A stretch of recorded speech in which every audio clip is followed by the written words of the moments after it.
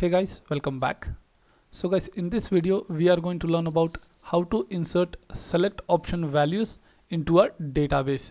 So guys that is nothing but your drop down values. So let's get started with it. So first you need to create a form. So let's move to our editor. And here guys. So i'm using a bootstrap to use this user interface design. So let's create that. Let's create a form where form action and then inside this we are going to pass that method is equal to post and then form group and then label. Label which will be name.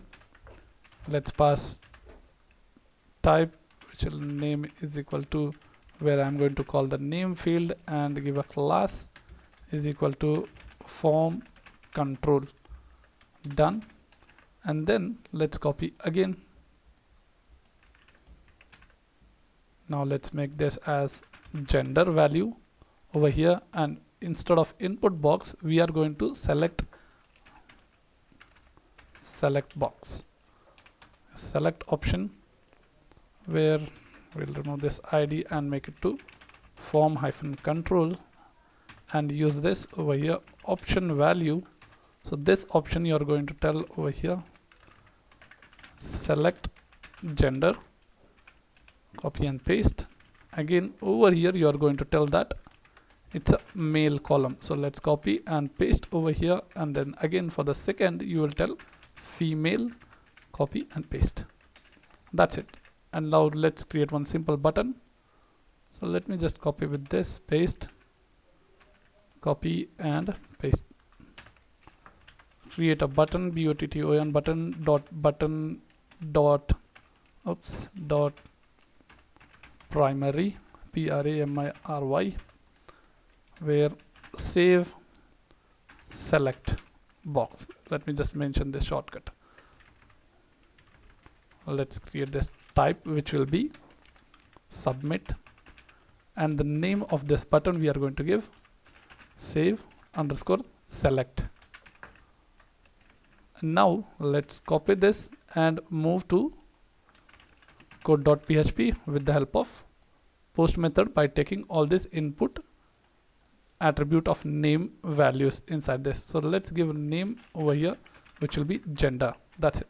Now let's copy and move to code.php let's create a if condition over here need to pass this and let's check that button is clicked or not. So you can check with the set function with the dollar underscore post. So if the button is clicked you will be inside this if condition. So what you are going to take from form that is name and dollar underscore post of your name. So what name you are going to take? That input field name. So this is the name and then your gender values. So this two options you are going to call so let me just copy and paste that. Let's copy this gender also and paste as same variable and the same thing. So now we are going to store the gender value into our database. So guys now let's create a database for that. Okay so I have created a database and the table also is there. Let me insert a column with the gender. So let's click on structure. And after this I want to add one column go and let's type gender and let's give that value as varchar and store that 50 values. Save.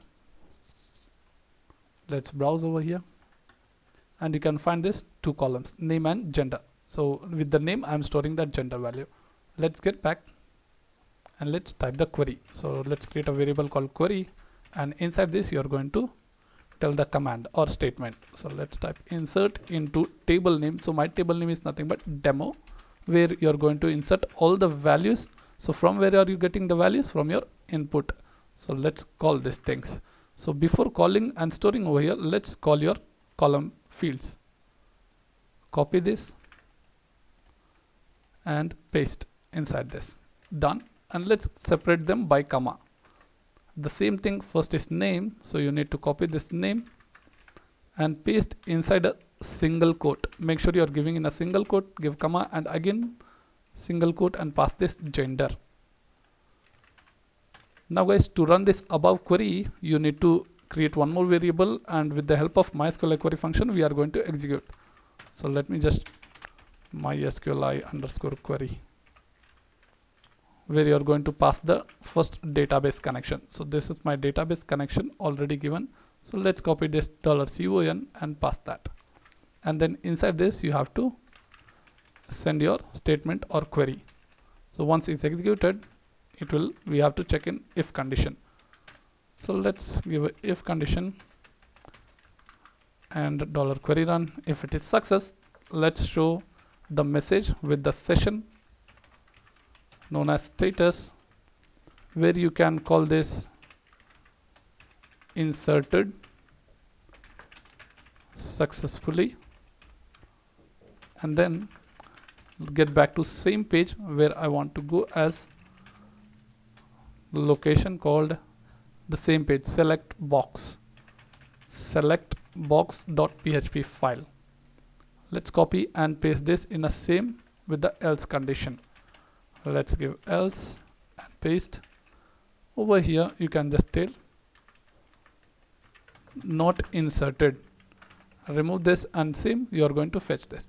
So if you're using this session make sure you have started the session over here and same session you have to apply in this page also to view that status of your session. Let me just close this PHP and let's code that over here to show the message. So I have already done that. Let me just paste it.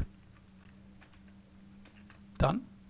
And now guys this is a simple way how to show the message using session. Let's get back and you let's check once. So value is inserted over here and the name field is there gender is there and this is a submit button to save that. So guys now let's execute this. Let's get back. Let's refresh. So this is our form. You can see. Okay so button is not designed. Let's design that button. Primary spelling mistake. Save that. Refresh. You can see it. Cool. So guys now let's insert this data. Let's give with Prakash and and gender will be male. And let's click on save select box. Save. Inserted successfully. You have got the message. Let's see data is inserted or not. Let's click on it cool. So your male data is saved over here. Your select box data also. So guys let's try with another one which will be um, Minu. And you're going to select the mm, female version and then save data inserted successfully. So let's go over here and see that data of your female. So guys you can see that female data also inserted. So guys in this video that's it. We have completed about how to insert the select box option. And thank you for watching this video guys. Please subscribe like and share